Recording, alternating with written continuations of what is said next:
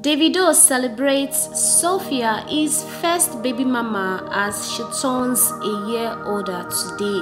Hi guys, it's Eazzy here again and you're welcome back to my channel.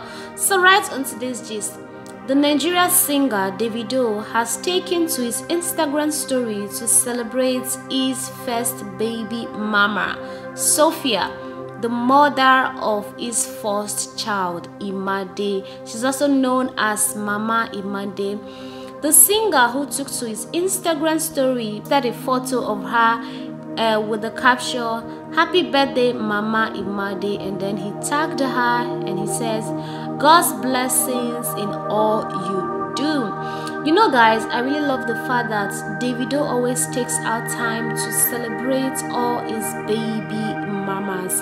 That is so amazing of him. Like, I don't know how he does it, but he's so good in doing it. Alright, guys, I wish Mama Imade all the best.